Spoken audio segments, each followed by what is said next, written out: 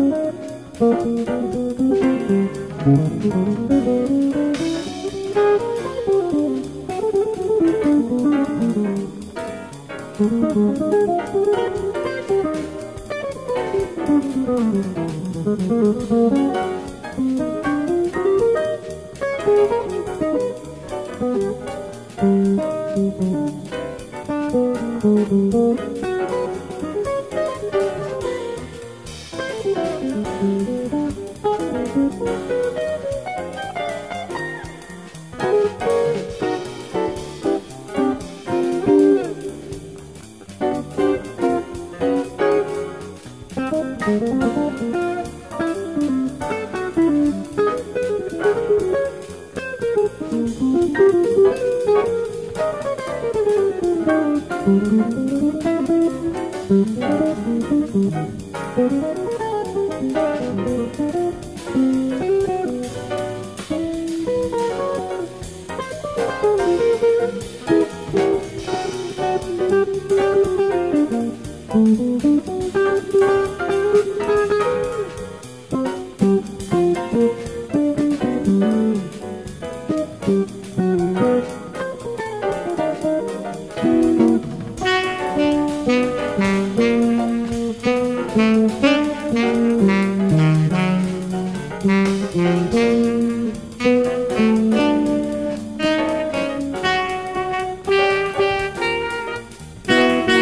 believe that men are to, or here to grow themselves into the full, into the best good that they can be.